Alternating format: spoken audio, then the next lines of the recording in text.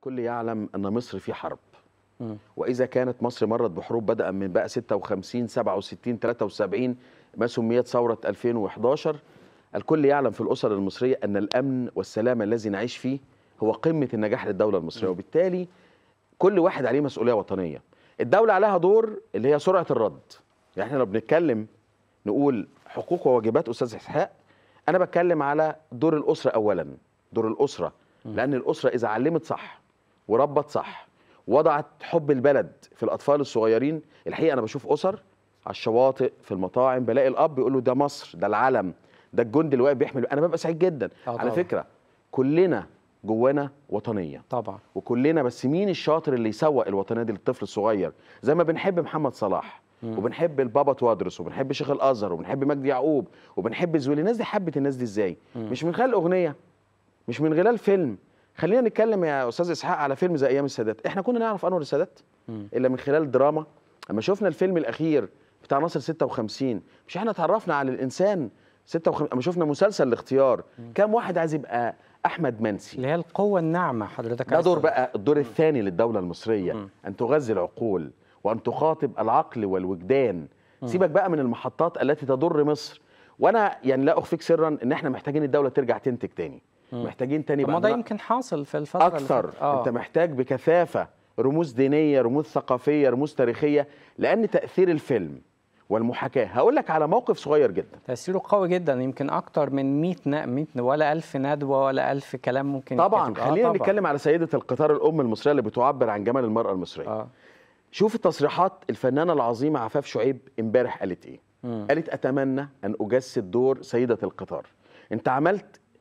يعني انت خاطبت الوجد المصري خاطبت النخوة المصرية شوف الموقف ده لو اتكرر مع أي مواطن مش هقول لك مع أحد ابطالنا في الجيش أو الشرطه شوف لو في واحد يعني يكلم حد بطريقة غير لائقة شوف اللقطة دي وتكريم الدولة وكيف يمكن أن نقول أن الدولة الا تفوت هتلاقي اللي هي. الموظف اللي هيغلط هيفكر مليون مرة قبل ما. بالظبط أنت آه. عملت عملت ميثاق وعملت قانون أن الدولة لن تنتظر أن تكرم أبنائها المبدعين لن ننتظر أن تعاقب إنسان مخطئ.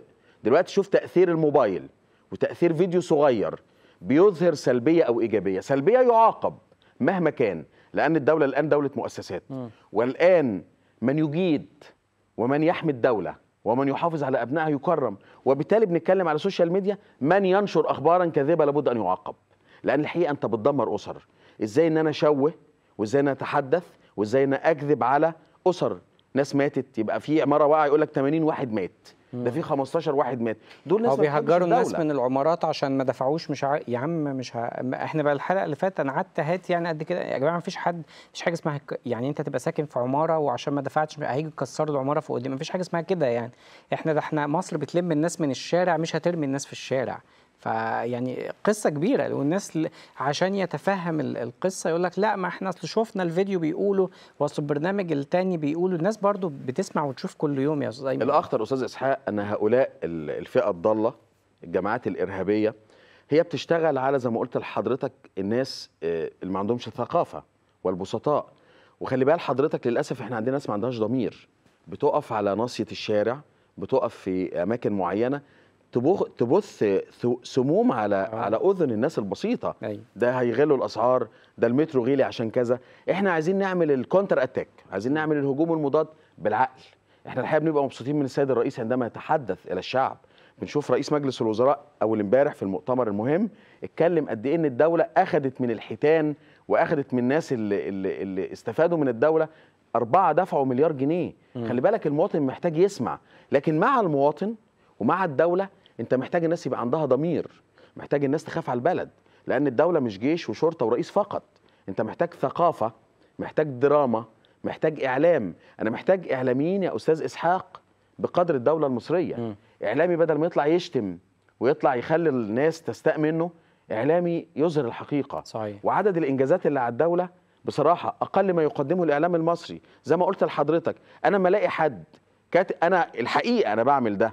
قريبا داعيه إسلامية كبير تربطني بيها علاقة طيبة وسيدة فاضله لقيت عدد من الزملاء كاتبين انتقلت. وكذا مرة فلانة الفلانية دخلت ال- السيدة الفاضله آه، غلط. بخير أم. من فضلك تأكدي من المصدر يسيبوها أخش تاني على الخاص من فضلك شيل البوست كن إيجابي